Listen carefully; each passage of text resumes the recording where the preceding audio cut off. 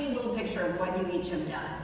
Um, you have Rent the Runway, which has been on the Disruptor 50 list four times. It was originally known for enabling women to rent outfits for a big one-time event. But now, over half of your revenue comes from your subscription service. The ability to have unlimited access to all sorts of different clothing items. And then you have Revzilla, which has totally changed the way people shop for, buy, and experience content around anything motorcycle related. Both of these are categories um, that didn't really exist online before you created them. So I'd love to hear how you think that these companies, um, or how you sort of approach the creation of these companies um, to be so transformative.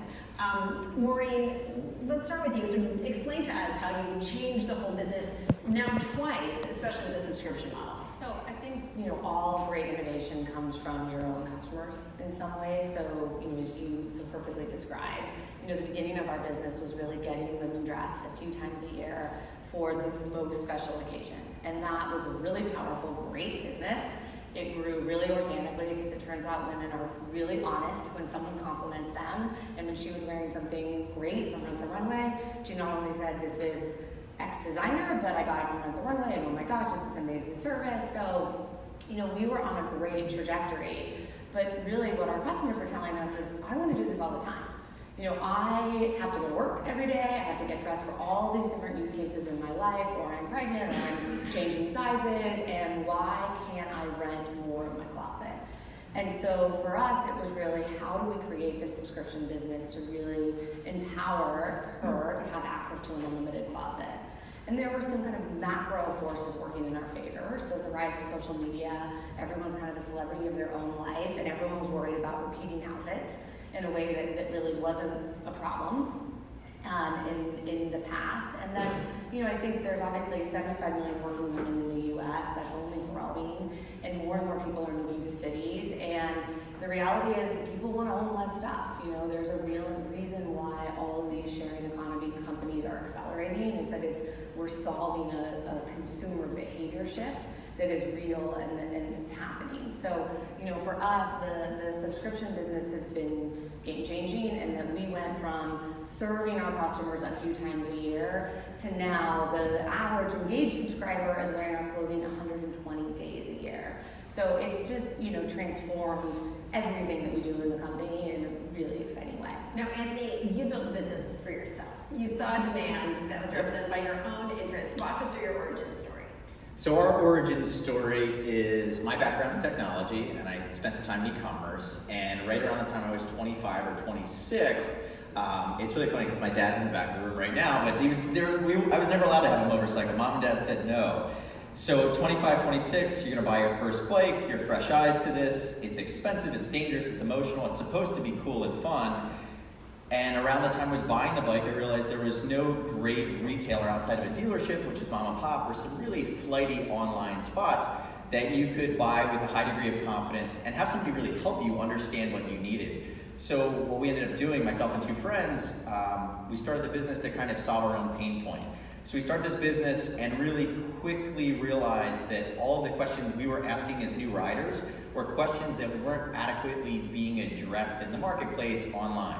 I like to think the biggest thing that we did to allow us to figure out our customer pain and solving that pain journey was really thinking about what are they trying to figure out, what are we trying to figure out, and then how do you scale that? Scale what somebody would have at a great dealership buying helmets, jackets, accessories, and how do we help them through that considered purchase life cycle? So that was really all things related to understanding, becoming a resource. That was really the cornerstone of how we built the business. Now you face, both of you face challenges dealing with suppliers. You had to convince um, fashion designers, they weren't going to be cannibalizing their own business by giving you access to clothes.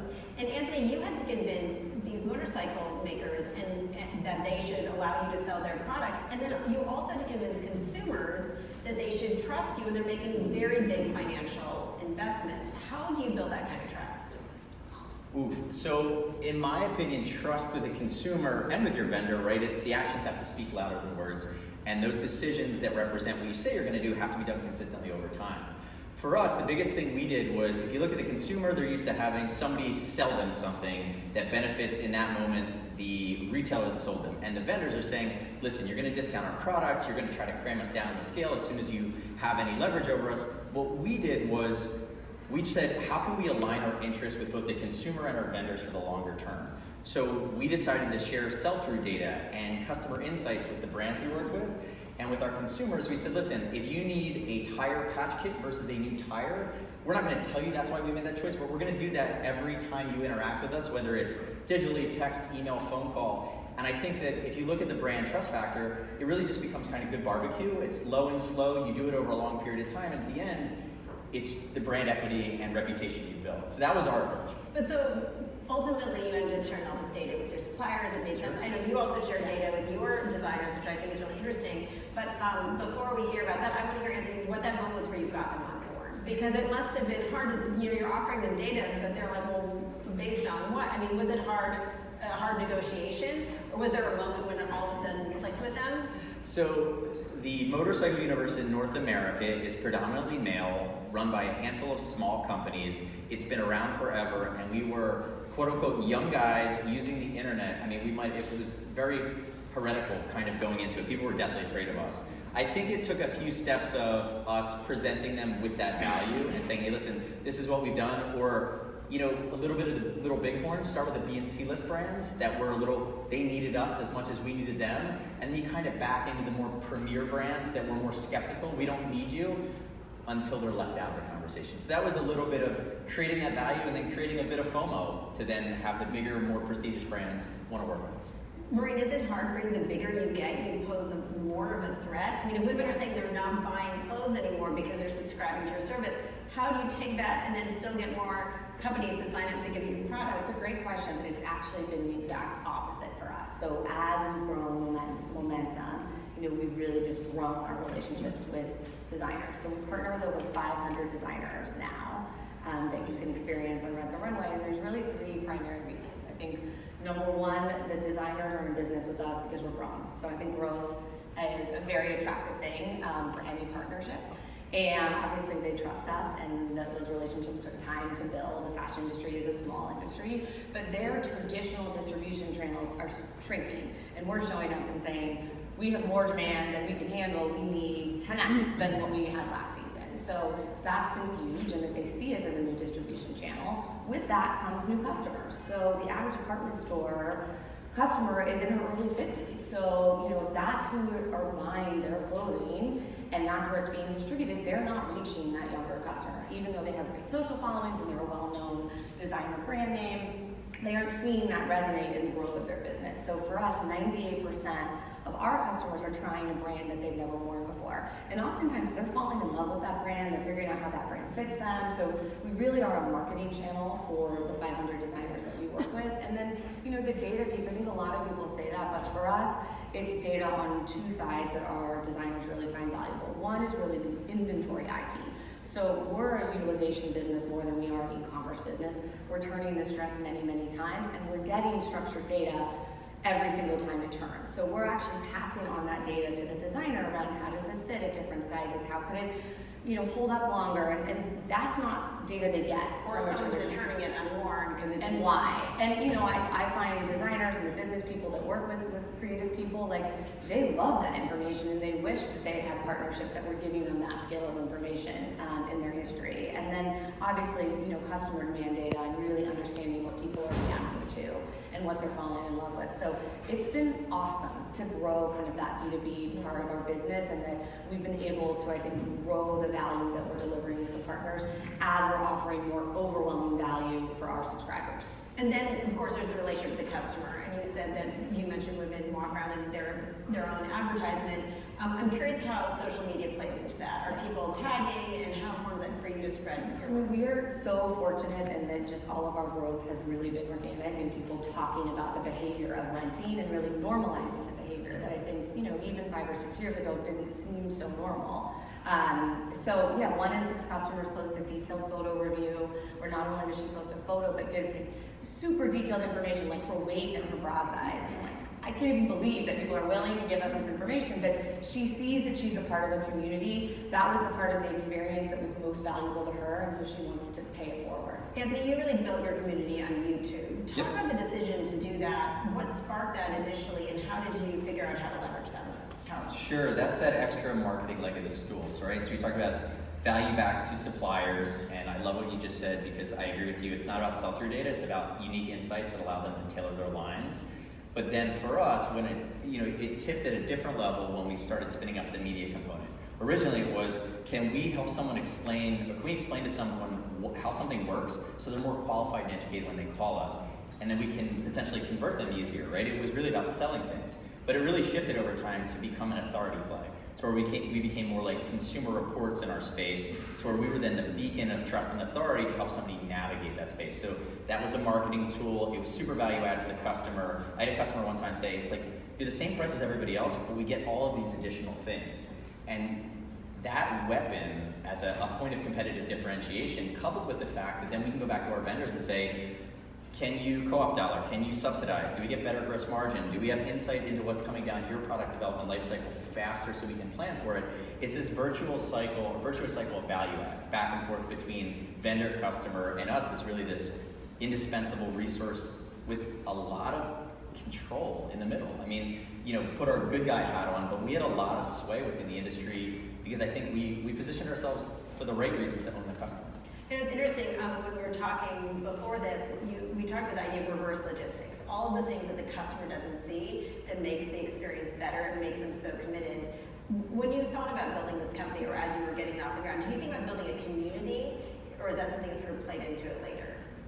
So at the time that we started the business, so we incepted, our first full year was 2008, and you had at that time, the next couple years, was really when Zappos blew up, and you started thinking about how communities work within retail and then the specialty retail aspect.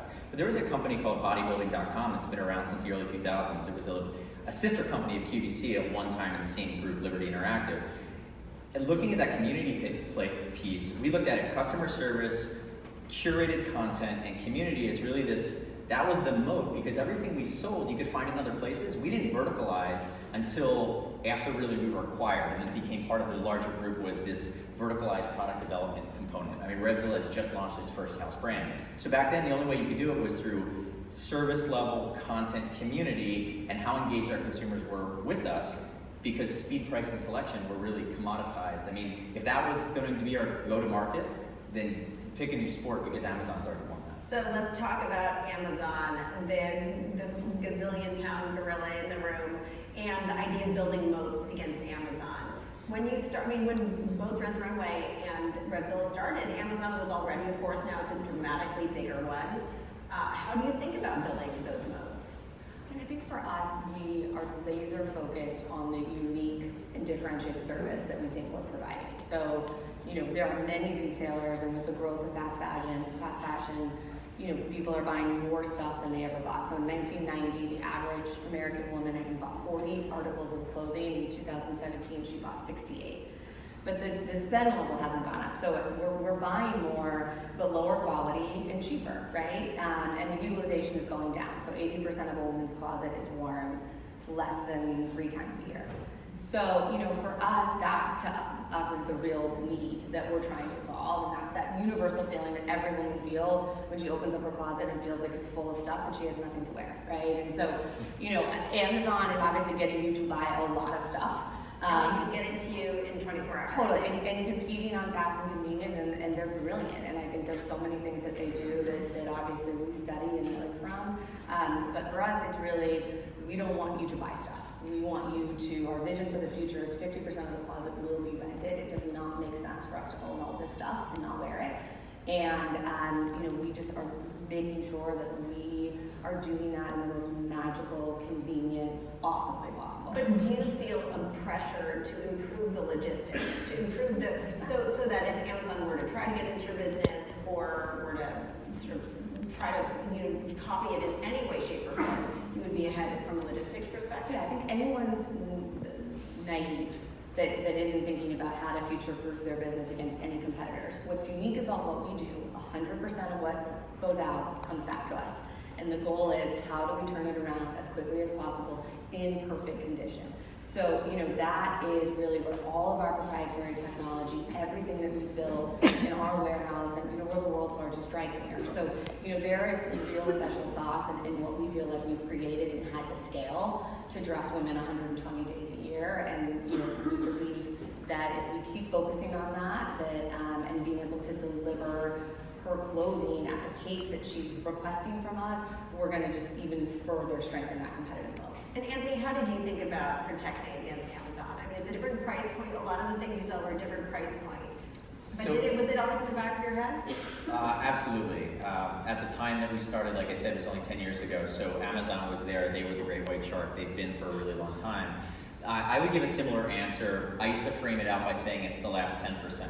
So if so, there's two kind of pieces that Amazon's going to do. There's the I need a brake pad, which is the um, non-differentiated purchase. I'm not I'm not angling to get that purchase. Purchase if I grade it, get it great. Like selling a tire, it's a consumable. It's a loss leader. If we get that sale, great. We don't want to send anyone to Amazon. But when you think about considered or differentiated purpose, or purchases, Amazon's not going to go the last 10%. They're the pieces that are unique to the use case, that buying use case. Um, to your point, it's specific things to how that product needs to be bought, returned, how that product buying experience happens. We said, can we use technology and content to differentiate there in a way that Amazon's going to say that's differentiate or that's diminishing returns for us. We mm-hmm. won't go the final 10% and really own that place in the customer's mind where, yeah, if you need a toaster, diapers, and a brake pad, go buy and Prime on Amazon. When you need help with a helmet or a jacket or something that has to save your life and it's going to cost you $500, that's when you're done screwing around and go have that solved by the guys at Revzilla that will solve that unique customer use case for you. And for us, it was consistently performing at a high level across all the touch points that go into that multi-touch, multi-day, sometimes multi-month journey for a customer. So it's, I would say it's the, the last 10% is how, you know, Amazon's gonna do certain things, but they're not gonna take it as far as an endemic specialty retailer or specialty provider in a specific industry will. Uh, it's interesting because if you look at Amazon, not only are they a sort of threat from a retail perspective, but they're now the third biggest digital advertiser in the United States. So that's a massive thing. So they're behind only Facebook and Google, they're number three. Now, this is obviously appealing from a perspective for uh, retailers. Retailers want to advertise, even if they're not selling on Amazon, they can advertise on Amazon. When you look down the road, could that become an even bigger threat if Amazon were to say downgrade ads or hide you know, content if you're not actually selling on Amazon directly? I think, listen, audience is, is critical, right? So if you want to grow and you want to accelerate your business, you have to have a world-class experience, differentiated, and you know, deliver unique value, and then people have to know about it. So I think not just Amazon, but Facebook, Google, I mean, there are massive players that control the audience, and all of us are, you know, having to play in those platforms, and we'll, we'll have to. And um, I think that, that that's just not an Amazon specific. I think that's just where the audience is in the addressable market and, and trying to capture those eyeballs. So speaking of Facebook and Google, at CNBC's NetNet conference last week, Neil Blumenthal from Warby Parker, he said he believes the Facebook-Google duopoly has made it harder for startups to get viral marketing without spending big. He said Warby Parker could not have taken off as easily or at all. Do you think that's true? Is this a terrible time to start an e-commerce business? So the rent on digital advertising is only going to be increasing. I mean, every year it's gotten less efficient, and that's the duopoly of Facebook and Google. There was a great Inc.com article that came out in the last six months that said CAC is the new rent.